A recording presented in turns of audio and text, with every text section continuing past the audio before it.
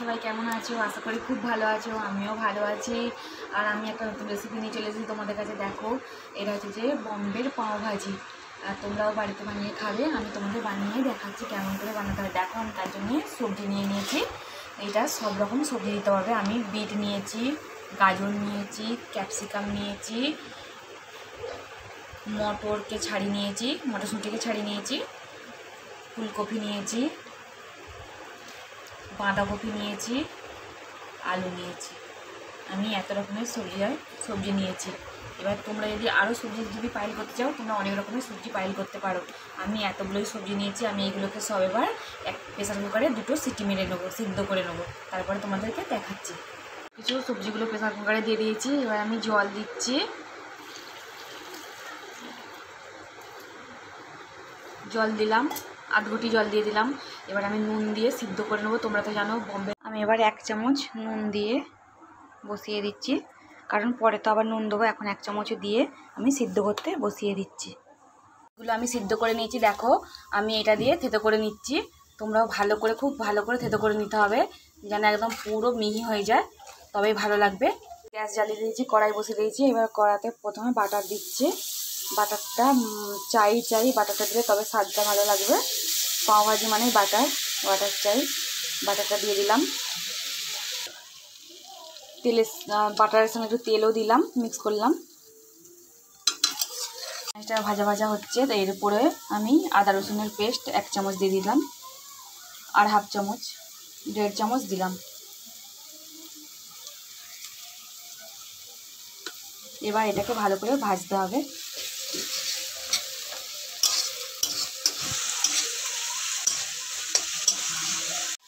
Tomato তিনটে নিয়েছি, খুব কুচি কুচি করে কেটে নিয়েছি।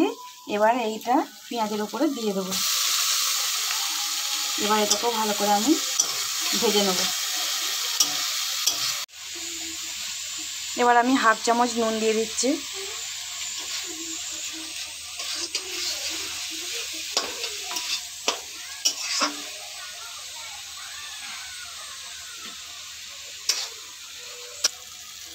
এবার আমি এতে হলুদ গুঁড়ো দিচ্ছি, হাফ চামচ।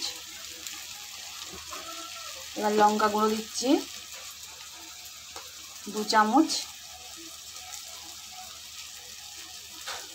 তোমরা যে যেরকম ঝাল খাবে দেবে, যদি বেশি লাগে তো বেশি দেবে, যদি কম খাও কম দেবে।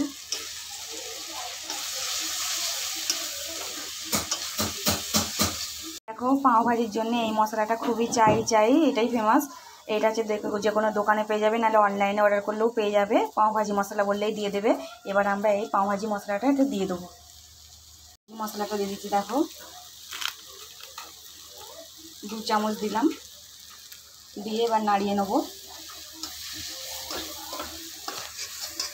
ভালো করে কষিয়ে নিয়ে, তারপরে আমি যেটা ওই এটা থেতো করে রাখছি, সবজিটা, ওটা দেবো পরে। ভালো করে থেতো করে নিয়েছি। এবার এখানে মশলাটা কষা হয়ে গেছে, এবার আমি ওর উপরে ঢেলে দিচ্ছি।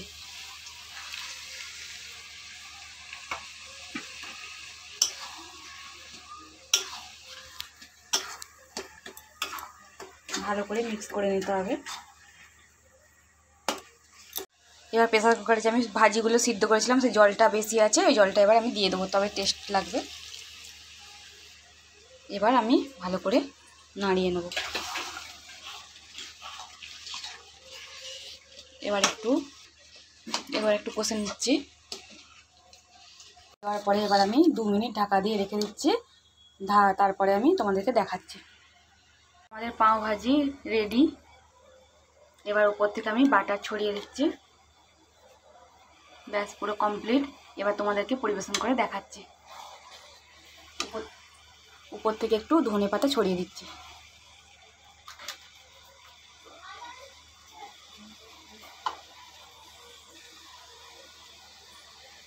দেখো কত সুন্দর কালারটা এসে গেছে, খুব সুন্দর কালার এসেছে আর খুব সুন্দর গন্ধ বেরিয়েছে। ওপর থেকে বাটারটা দিয়েছি, খুব সুন্দর গলছে, দেখো কত সুন্দর লাগছে। আর খেতেও খুব টেস্টি হবে, বাচ্চারা তো দেখলেই খেয়ে নেবে, তোমরাও দেখ, একবার বানিয়ে দেখো, খুব সুন্দর খেতে লাগবে। এরকম তো গাঢ় গাঢ় বানিয়ে নেবে, তারপরে তোমরা চা অর্ধেক কমিয়ে নিয়ে, তারপরে এরকম তোমরা যখন খাবে, এরকম পাতলা একটু জল দিয়ে পাতলা করে করে, তারপরে পাওয়ের উপরে দিয়ে খাবে, তোমাদেরকে দেখাচ্ছি কীরকম করে খেতে হবে। একটু পাও নিয়ে নিয়েছি এখানে গোল গোল পাও পাওয়া যায় দেশে তো এরকম পাওয়া যায় না। লম্বা লম্বা, তোমরা লম্বা লম্বা পাও নিয়ে নেবে। এবার আমি এ তাওয়া বসিয়ে দিয়েছি, তেল দিয়ে দিয়েছি। এবার সেই পাও ভাজি মশলাটা একটু দিয়ে দিলাম। এবারে আমি পাওগুলোকে এখানে এই পাওগুলোকে আমি দু আধখানা করে কেটে ওর উপরে দিয়ে দেবো।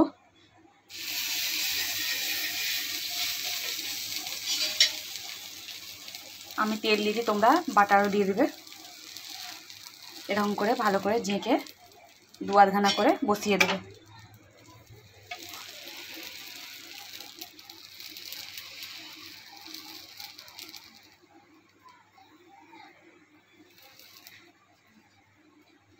এরকম করে গরম করে নেবে পাউটা। এবার উপর থেকে একটু বাটার ছড়িয়ে দেবে। ওগুলোর ভেতরে একটু অল্প করে আগে ভাজি ঢুকিয়ে দিতে হবে। এরকম করে ভাজি ঢুকিয়ে দিতে হবে। তারপরে আবার অন্য প্লেটে করে ভাজি নিয়ে নেবে। কিন্তু এই ভাজিটা একটু অল্প করে ঢুকিয়ে দিলে ভালো, দেখতেও লাগবে, খেতেও লাগবে। এরকম করে ঢুকিয়ে নিতে হবে। এবার তোমাদেরকে আমি নিয়ে দেখাচ্ছি। ভাজি আমাদের পুরো কমপ্লিট বম্বের পাও ভাজি মশলা, দেখো। এটাই স্পেশাল বম্বের পাওভাজি তোমরা বম্বে বেড়াতে গেলেও তোমরা এখানে গেলে এটাই স্পেশাল পাওভাজি আমি এখানে গোয়াতে বসেই তোমাদেরকে বানিয়ে দেখিয়ে দিলাম। পাও বম্বের পাওভাজি তোমরাও বাড়িতে বানিয়ে খাও। আর বাচ্চাদেরকেও দাও, খুব, বাচ্চারা খুব ভালোভাবেই খাবে। দেখতেও যত সুন্দর লাগছে, খেতেও সেরকম সুন্দরই হবে। তোমরা বাড়িতে বানিয়ে খাও। তোমাদের যদি এই রেসিপিটা ভালো লেগে থাকে, তাহলে তোমরা লাইক করবে। আর প্লিজ সবাইকে একটু শেয়ার করে দেবে আর কমেন্ট করবে সাবস্ক্রাইব করবে। এখানে আমি ভিডিওটা শেষ করছি। আবার নতুন রেসিপি নিয়ে পরে ফিরে আসছি।